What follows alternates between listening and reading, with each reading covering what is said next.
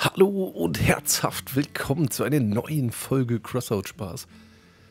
Hier seht ihr meinen super schweren grobmotorischen Breaker. Der ist mit Humpback, den hatte ich gestern zusammengefummelt, nachdem wir Levi CW gespielt haben tatsächlich. Und ja, der soll einfach relativ viel aushalten und an den Levi dran fahren, den Levi ein bisschen ablenken, damit unser Levi Spaß haben kann. Dazu auch der Flash oben drauf. Ihr seht, also es sind wenig Kühler drin. Ich kann halt viel schießen. Aber der Flash ist ganz gut, damit der gegnerische Levi nicht so krass schießen kann. Und ja, da haben wir es versucht, weil wir haben gestern, wie gesagt, äh, Leviathan Clan War gemacht. Und es ist doch was ganz anderes als normaler Clan War. Normale Clan War machen wir ja immer mehrmals die Woche. Leviathan Clan War hatte ich nur ganz selten bisher gemacht. Aber ich muss sagen, ich finde es ziemlich witzig. Allerdings sind die Builds, die man da braucht, komplett anders wie die normalen Clan War Builds. Also mit den normalen Builds kommt mir da gar nichts reißen. Deshalb habe ich hier so einen dicken Breaker gemacht, damit der einfach ein bisschen aushält und mit dem Flash den Leviathan ein bisschen nerven kann. Und das hat auch einigermaßen funktioniert. Aber wir müssen noch weiter optimieren. Es waren viele Ratchet da zum Beispiel unterwegs. Das war auch interessant. Ratchet sieht man, ja, man sieht so auch im normalen Clan War, aber die sind meistens recht schnell entwaffnet. Aber im Levi Clan War ist doch Ratchet so ein Ding, würde ich sagen. Da waren teilweise Teams mit einem Levi und drei kleine Ratchet-Autos dabei. Das war ziemlich ungünstig für unser Leviathan. Dann Autos mit Flashs, also einfach drei Flashs drauf zwei Autos, die dann unseren Leviathan in die Zange genommen haben, dass der fast nichts machen konnte. Sehr interessante Builds auf jeden Fall. Sehr interessant, ganz andere Spielweise. Ich freue mich auf nächste Woche. Vielleicht nehme ich dann sogar mal ein bisschen auf. Schreibt mal drunter, ob ihr übelst gerne Leviathan CW spielt. Aber vielleicht nehme ich auch erst in zwei, drei Wochen auf, denn wir sind immer noch in der Findungsphase so. Wir versuchen gerade noch ein Levi-Team zusammenzustellen. Aber unser Levi war ganz gut, die Feuerkraft war stark. Und ich habe mir dann auch noch einen anderen gebaut, beziehungsweise habe ich ein Bild geschickt bekommen und den dann ein bisschen geändert und mit den Waffen bestückt, die ich halt so im Arsenal habe. Ich kann euch den mal zeigen, der fährt gerade los. So sieht er aus. In dem Ursprungsbild waren vorne mal zwei Mastodon drauf. Aber ich habe natürlich keine Mastodon. Aber ansonsten habe ich alles. Und ihr seht es auch, ich habe wieder Ratchet. Ich habe wieder Ratchet am Start. Ja, das war einfach, weil da echt gestern viele Ratchet rumgefahren sind und ich bin mal gespannt, wie es aussieht. Wenn ich auch so eine Ratchet-Karre habe. Ich habe auch Incinerator genommen, habe mir so ein dickes Incinerator-Auto gebaut. Allerdings war die Levis immer sehr schnell. Ich habe ihn zwar angebrannt, aber der ist einfach durchs Feuer durchgefahren. Und dann habe ich natürlich nicht so viel Schaden gemacht. Was cool war, wenn wir es geschafft haben, den gegnerischen Levi irgendwie kurz aufzuhalten, dass er steht. Wenn ich dann mit dem Incinerator reingebrutzelt habe, dann hat es richtig viel Schaden gemacht. Problem ist nur, das Incinerator-Auto, das hat auch nicht so viel ausgehalten jetzt. Hier der Breaker, der hat halt doch, der hat sehr viel Leben und ist noch ziemlich spacig so, weil der so ausladend ist. So ein Space Armor und dadurch lebt er halt relativ lang, wenn er vom Levi beschossen wird. Ich habe den jetzt noch ein bisschen geändert, habe vorne Hermits dran damit der Flug so am Boden ist, weil unser Levi wurde manchmal gewedged und das war echt mies. Er war dann sauer und hat gesagt, Mann, die haben mich gewedged mit ihren kleinen Autos, wo ich ein riesiger Levi bin. Das war echt tragisch, das zu sehen, wenn unser Levi gewedged war und dann habe ich mir auch mal so ein Wedge dran gemacht. Beziehungsweise dieser schwere Flugzeugflug da vorne, Zug, der Zugflug da vorne, der war schon dran. Der saß nur ein bisschen höher und vorne war nochmal so Space Armor diese Flugzeugtüren da, Flugzeugseitenteile, die ich hier in der Mitte jetzt habe, die waren vorher vorne dran, so in der Luft als Space Armor. Und die hatte ich jetzt mal weggemacht und habe den freigesetzt. Der ist aber immer noch nicht so optimal, der Bild. Der Flash ist halt gut. Für den Levi. Und komischerweise hat der Flash auf dem Auto echt lange gehalten. So. Immer versucht den Flash runterzuschießen, aber es ging ganz gut. Ja, mies war, dass die Gegner teilweise viel mehr Flashs hatten. Also die kamen dann mit zwei so Triple Flash Autos. Und wenn die da den Levi in die Zange nehmen, dann steht er halt. Und wenn die dann noch einen Incinerator dabei haben und plus ihren eigenen Levi, wow, dann ist echt eine miese Taktik. Oder wenn der Levi steht und der Incinerator brutzelt drauf, ist richtig heftig. Aber Ratchet genauso. Ratchet schießt auch gut die Waffen runter. Deshalb, ich bin, sehr, ich bin so gespannt auf nächste Woche. Es wird hart. Aber es macht Bock. Und ich habe mein zehntes Icarus gebaut. Zack. Das heißt, wir können jetzt mal mein Bild umbauen. Bei Autos musste ich ja nichts machen. Aber mein Varun-Bild, den habe ich vermisst. Und mir ist ja schon aufgefallen, wie ich den wohl verbessern kann. Und das machen wir jetzt. Wir können einfach hier diese Platte abnehmen da noch eine Düse dran klemmen. Ich bin mal gespannt, da müsste er eigentlich direkt schon wieder fliegen. Hä, hey, das ging doch letzt. What?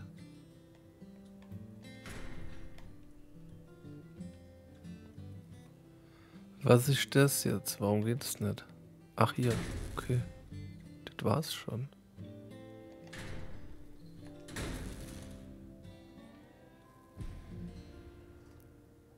Jo, ich habe eine Aurora verkauft, geil.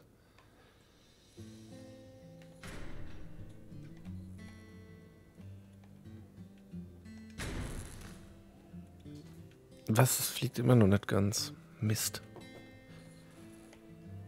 Ja gut, die Teile, die ich abgemacht habe, die kann ich jetzt hier dran machen. Ja die guten Minivan-Panels. Die dürfen übrigens auf keinem Hover fehlen. Es geht nicht. Ohne Minivan-Panels habt ihr kein Hover. So. Warum klemmt denn das Teil da eigentlich dran?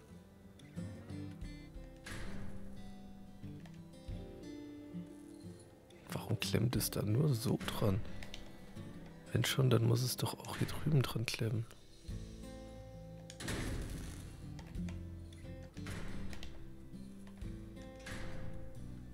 Wenn schon, dann denn schon, ja, da muss es überall dran.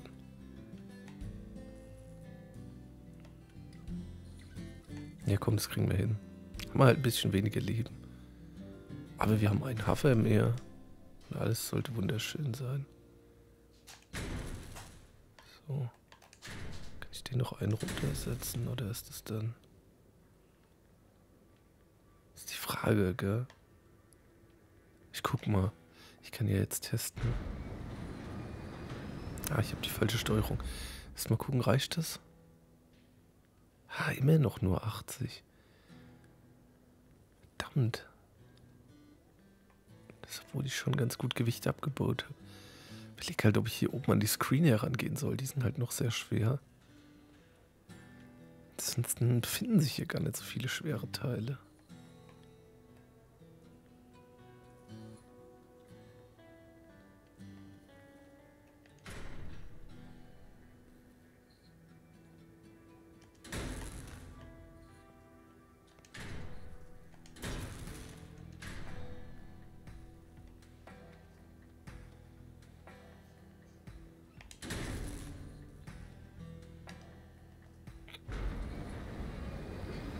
Wohin fliegt der jetzt 80?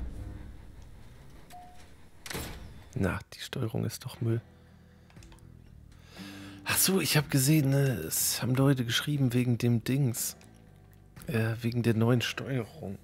Dass die so nervig ist. Also ich habe meine Hover-Steuerung so eingestellt. Seht's hier? Ich habe relativ, nee, relativ zum Fahrzeug spiele ich. Bewegung rechts, links, nach hinten schauen, habe ich mir auf Steuerkreuz gesetzt. Ja, allerdings ist das, ja, ich sehe, ich sehe, wo euer Problem ist, gell? Das Problem ist, dass Bewegung rechts mit nach hinten schauen zusammen ist. Und das bringt die Haffe-Leute immer total aus dem Ziel raus. Das ist echt kacke. Und das Problem ist, selbst wenn ihr Bewegung rechts jetzt woanders hin macht, ist es trotzdem mit hier oder? Bewegung links umsehen, Bewegung rechts nach hinten. Also das ist doch Müll. Das Einzige, wie ihr das echt umgehen könnt, ist, wenn ihr hier diese neue... Ich, ich habe wahrscheinlich dann Sideway oder die alte Steuerung eingestellt. Also wenn ihr hier relativ zum Fahrzeug macht und in der Benutzeroberfläche fixiere die Kamera auf den Sichtbar.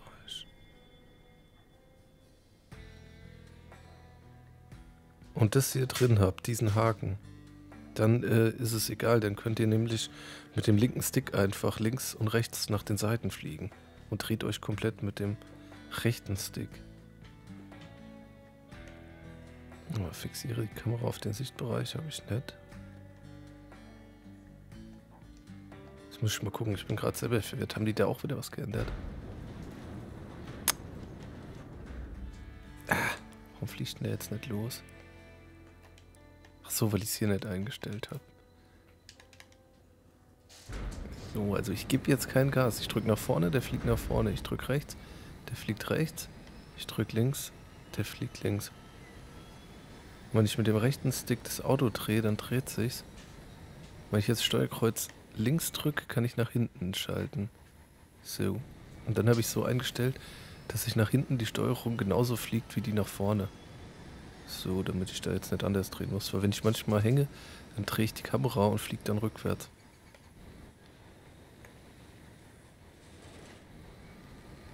Irgendwie habe ich es auch schon mal geschafft, die Kamera so an die Seite zu hängen. Nee, der dreht sich immer. Der dreht sich halt dann, wenn ich den rechten Stick so die Kamera drehe, dreht sich das Fahrzeug halt immer mit. Also so wie bei Battlefield, glaube ich. Ja, und Battlefield ist auch so. Halo, glaube ich, sogar auch. So lange kein Halo mehr gespielt. So.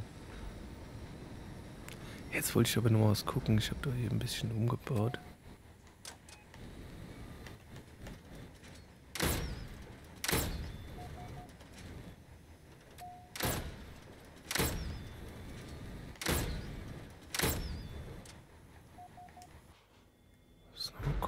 ich glaube, so ist der Hafer besser geschützt. Ich mich hier so vor den stelle.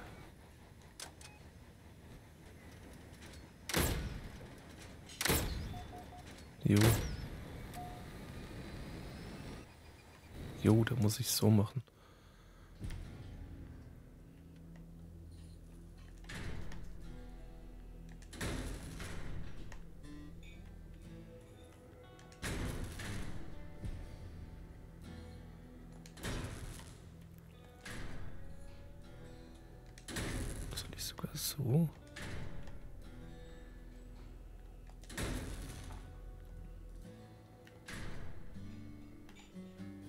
Blech reicht nicht hier vorne.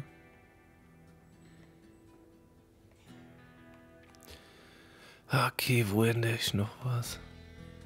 Hab ich irgendwo so einen fetten Klotz einfach reingelegt. Hier sind halt die Klötze, aber die würde ich ungern rausmachen. schon nur ein Buspanel. Rechter Flugzeugflügel. Wo muss ich denn hin? Ich muss mal gucken.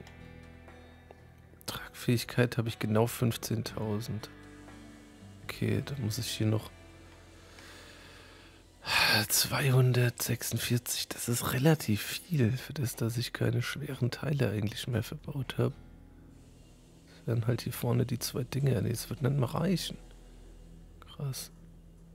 Das werden nur 14 Kilo. Oh, schwierig. 71. Ich dachte, das klappt jetzt mit denen. Das ist ärgerlich, dass damit nicht klappt. Das wäre perfekt gewesen.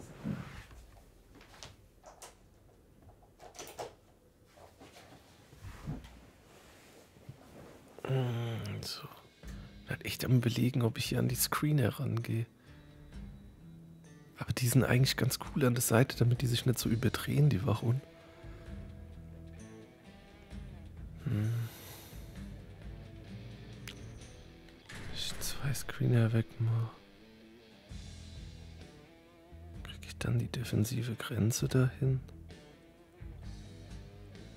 Ich hätte schon nämlich gern was davor.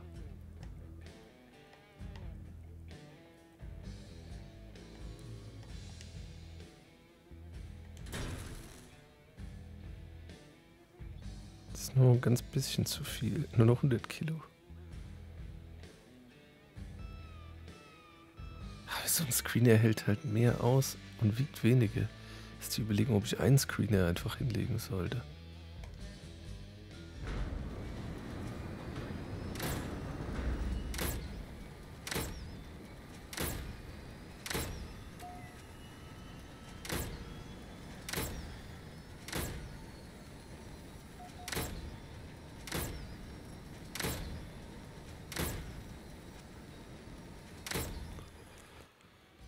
Okay.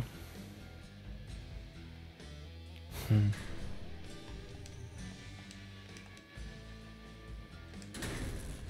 Ich glaube, ich lege einen hin. Dann habe ich die 85. Bin zwar 30 Kilo drüber, aber es reicht trotzdem, dass ich meine 85 schaffe.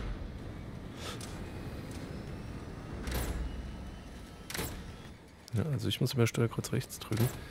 Das ist ganz gut so. Ein bisschen weniger Leben hat der Varonierer. Der führt ja zwei Hover mehr, was eigentlich ganz geil ist.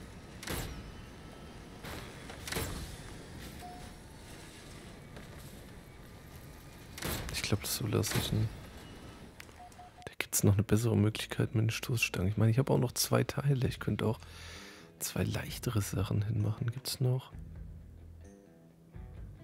Für zwei Stanze reicht's nicht. Das Ding ist auch zu schwer. Sind schon recht schwer, die Stoßstangen. Zwei Schinder könnte ich hinmachen.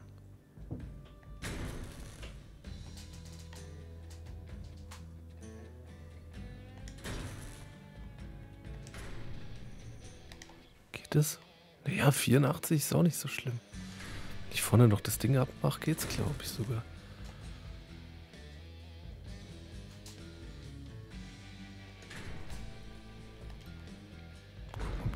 Sind? Ich glaube nicht.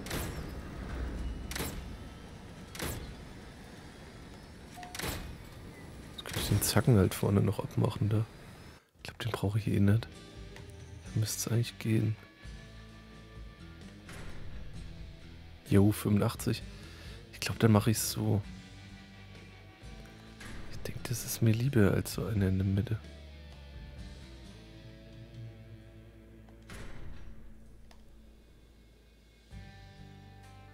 Ja, so probieren wir es aus. Farbe dran. Die Position ist noch ein bisschen variabel. Vielleicht ändere ich die noch. Aber ich glaube, so bin ich ganz glücklich damit. Den Varoniere. Und dann hat er auch eigentlich ist es jetzt der Varoniere 2.0, gell? Beziehungsweise, nein, das mache ich. Es ist der Varoniere V2. So krass. Ein Bild umgebaut. Wird für das Clan-Gefecht verwendet. Wahnsinn. Aufkleber wären noch nice, aber ihr habt gesehen, wie lange ich brauche für einen Aufkleber. Ich lasse es lieber. Es ist zu wild. Aber wir zocken noch eine Runde. Ich mal gucken, wie viele Hafer rumfliegen. Also gestern habe ich ganz wenig Hafer rumfliegen sehen. Gespannt, wie es jetzt ist. Aber ich kann mit der fliegen. Ich habe die Wachen. Mal sehen, ob ich noch Chancen habe. Aber eigentlich 10% Schaden sollte verkraftbar sein. Bisschen weniger Munition, auch nicht so schlimm. Bisschen langsamere Schussrate, ist sehr beschissen. Schussrate gar nicht so sicher bin.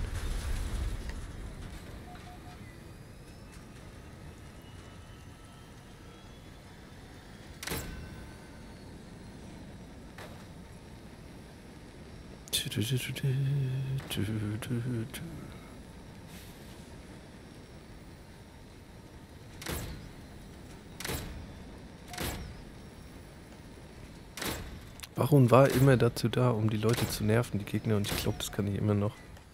Auch mit 299 Schaden. Es ist trotzdem ordentlich.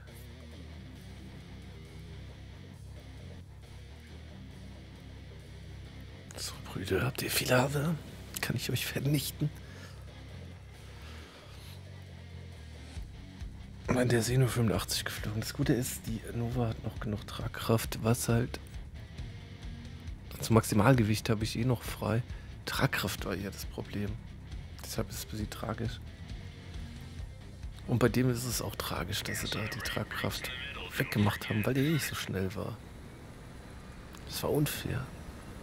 Ich bin extra nur 85 im Hover geflogen, weil ich es unfair fand, 95 zu fliegen. Und jetzt habe ich trotzdem auch, äh, haben sie bei mir auch reingeschissen. Und die kleinen Schlimmen, die können noch fliegen.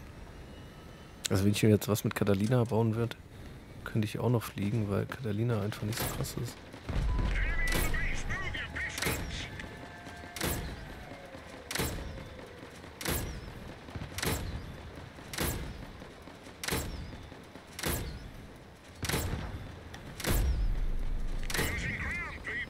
das ist doch immer noch mies, ey. Ich hab den, dem schon übel auf die Kabine geschossen da.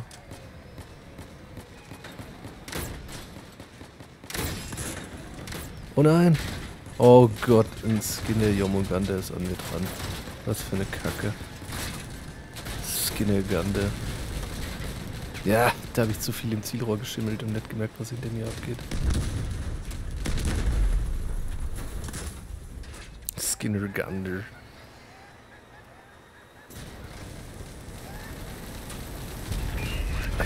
Ein krasser Jomuganda. Der hat voll viele aus.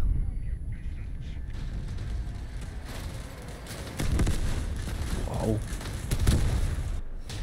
Ja, ich glaube, Jomunganda ist auch wieder besser geworden. Also Waffe sind völlig nutzlos, ich habe keine Chance mehr. natürlich nicht. Das war immer Pech, das war voll dumm. Ich habe den typischen Fehler gemacht, was die Leute machen, die das erste Mal Range spielen. Einfach die ganze Zeit im Zielrohr geschimmelt und bis sie rumgeschossen. Völlig die Map aus den Augen gelassen. Zum Glück passiert es im CW nicht so oft, weil da wird mir dann angeschrien, es kommt hier in der Wand. Hier hatte ich einfach keine starken Teammates, die mir die Leute vom Arsch gehalten haben. Der hat doch bestimmt auch eine Wachrun, oder? Die heißen schon. Warum? Why-Run? Snap-Comic. Okay, diesmal passe ich auf, diesmal lasse ich mich nicht von so einem Miesling holen. Aber ich schieße dafür alle weg. Okay, da kommt schon einer angeheizt. Drüben ist einer gefahren. Zwei wahrscheinlich sogar mittlerweile. Nein, die haben auch eine Gaiju.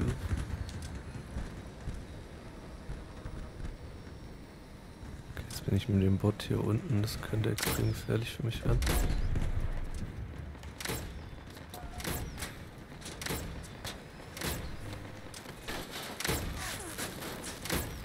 Hat auch einen Nova und ich schieße ihn auch noch weg, ich trottel. Oh nein, hier oben ist einer, ich sehe es.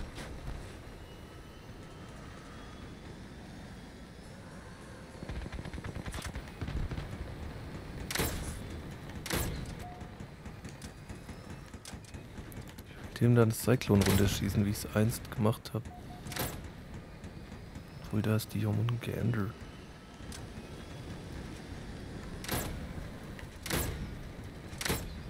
Okay, die haben auf jeden Fall das Aiming schlechter gemacht. Ich treffe nichts mehr. ich schieße für loserhafte Kacke.